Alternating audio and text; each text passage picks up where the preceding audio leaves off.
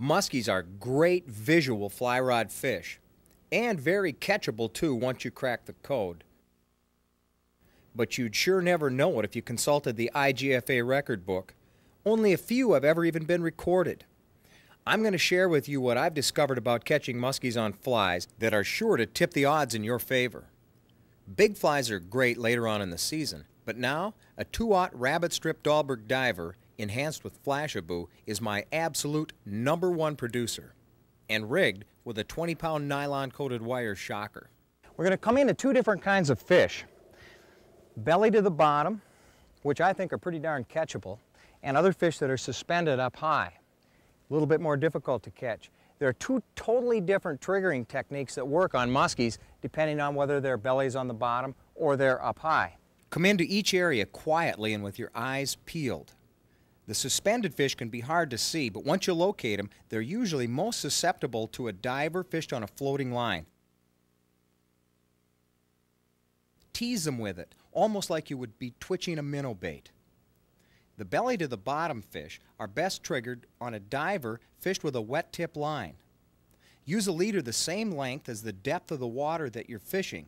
That way you can make the diver pop on the surface, dive and contact the bottom, then swim all the way back to the surface. This really drives fish crazy. Focus your efforts in 4 to 10 feet of water. Be sure to check narrows, saddles between islands, bays, and shelves or corners on steep-sided banks. Look for areas that collect warm water. 63. There's a muskie right there, see it? Yep. She's facing him. It's coming. Coming. Coming. Got him! Got him! All right. Oh, man! It's a big muskie. It's the biggest muskie I've ever hooked up.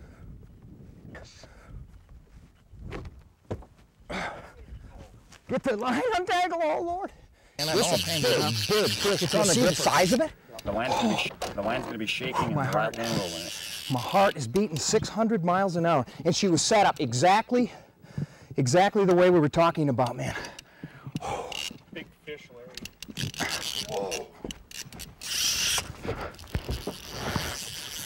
Okay, good, good, good, good. I don't want to be that far away.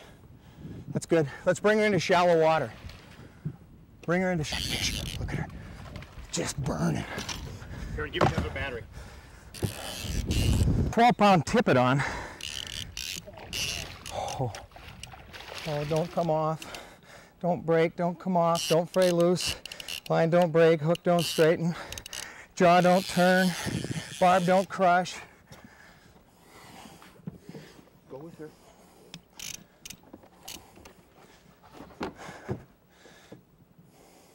Oh, she beautiful. Oh man, what a gorgeous fish. Mr. Cradle, are we ready?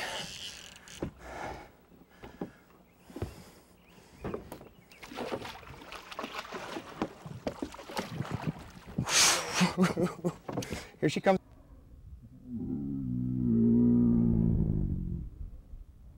Beat. Oh man. Oh, fell out, barely hooked. Does this look like a muskie bait? Well, it did to this muskie. Hey, is a muskie a fish at 10,000 casts? It can be if you're where there aren't any or you're throwing what they don't like to eat. You do just exactly what I showed you today, and I guarantee that you can come up here with a fly rod, whoa, and catch a big muskie. Just give Don a call. Here's his number.